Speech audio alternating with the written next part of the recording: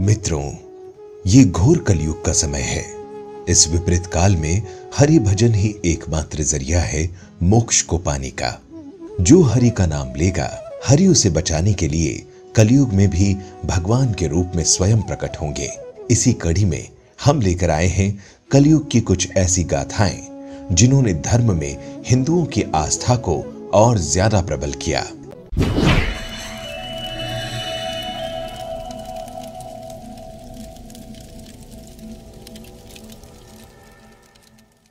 तो चलिए, अब आज की कथा शुरू करते हैं। देश भर में भगवान महादेव के कई प्रसिद्ध मंदिर स्थापित हैं, जिनसे जुड़ी कई रोचक कथाएँ भी सुनने को मिलती है। भोले भंडारी का ऐसा ही एक मंदिर बिहार के मधुबनी ज़िले के भवानीपुर गाँव में स्थित है, जो उगना महादेव व उग्रनाथ मंदिर के नाम से काफ़ी प्रसिद्ध है।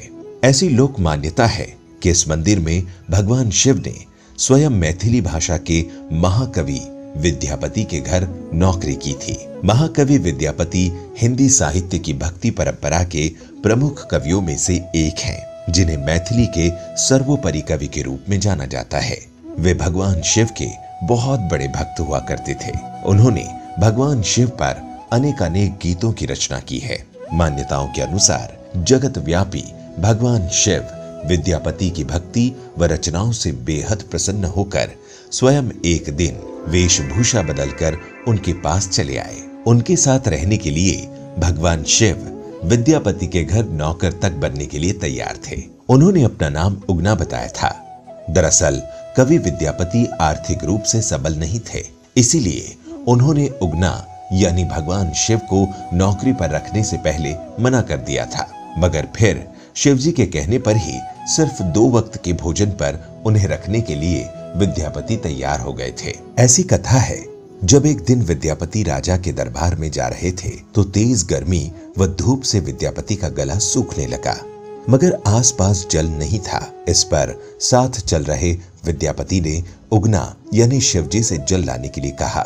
तब शिव ने थोड़ी दूर जाकर अपनी जटा खोली व एक लोटा गंगा जल ले आए। जल पीते ही विद्यापति को गंगा जल का स्वाद आया। उन्होंने सोचा कि इस वन के बीच ये जल कहाँ से आया। इसके बाद उन्हें संदेह हुआ कि कहीं उगना स्वयं शिव तो नहीं, उन्होंने शिव के चरण पकड़ लिए तो शिव को अपने वास्तविक स्वरूप में आना ही पड़ा। इसके बाद शिवजी ने महाकवि विद्यापति के साथ रहने की इच्छा जताई और उन्हें बताया कि वो उगना बनकर ही साथ रहेंगे। उनके वास्तविक रूप का किसी को भी पता न चलना चाहिए। इस पर विद्यापति ने भगवान शिव की सारी बातें मान ली। लेकिन एक दिन, उगना द्वारा किसी गलती पर कवि की पत्नी शिवजी को चूल्हे की जलती हुई लकड़ी से पीटने लग गई। उसी समय विद्यापति वहाँ आ गए और उनके मुख से निकल गया कि ये तो साक्षात भगवान शिव है और तुम इन्हें मार रही हो।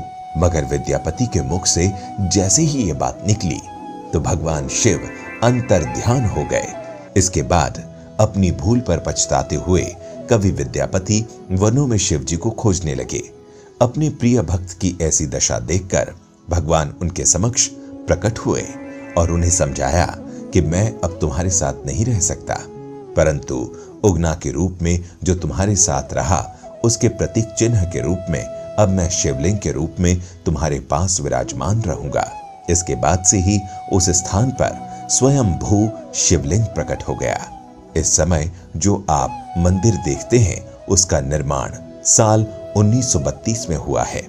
इसके अलावा बताया जाता है कि 1934 के भूकंप में मंदिर को कोई भी नुकसान नहीं आया था। हालाँकि, आज मंदिर का परिसर काफ़ी भव्य बना दिया गया है। अगर मौका लगे तो आप भी उगना महादेव मंदिर जाकर भगवान भोलेनाथ के दर्शन ज़रूर कीजिएगा। आपको आज की ये कथा कैसी लगी? नीचे कमेंट्स में हमें अपने विचार अवश्य बताएँ। मिलेंगे फिर एक नए आध्यात्मिक वीडियो के साथ किसी और दिन। फ़िलहाल आज के लिए बस इतना ही। दीजिए इजाज़त। आपका बहुत बहुत शुक्रिया।